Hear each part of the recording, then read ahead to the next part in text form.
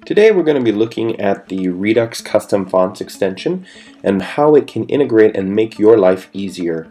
What custom fonts is, is it's the ability to let your users add any custom font to their website with just a simple click and no intervention on your part. You use the same programming, the same typography fields in Redux as you have before, and the plugin does the rest. Let's take a look. So here we have a site, 2015 standard typical everyday site. So you can see there are no flashing mirrors here. I'll reload the page. That's the font that ships with 2015. We're going to add a custom font.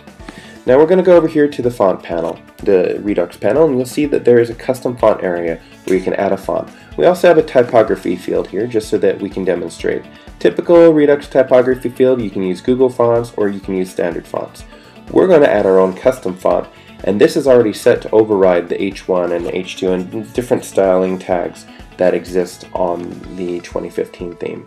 So we're going to go here to add a file. This is just going to be a typical everyday file.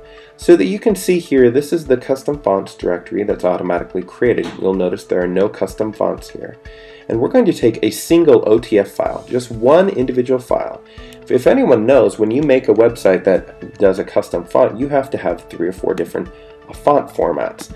Custom fonts will take your single font and dynamically generate for you, as you'll see here, each font file that you need. Now we have an OTF, we have a TTF, we have a WOFF, and as it's generating each and every single one of them, it's also going to compile for you a custom CSS file so that you don't have to do anything. Inside here, the fonts.css file has everything already pre-denoted and outlined for you so that you can just edit it. Here, we'll open this up really quick. And you'll see. And this file will be automatically and dynamically enqueued on the front end. So here now, we're going back to this typography module.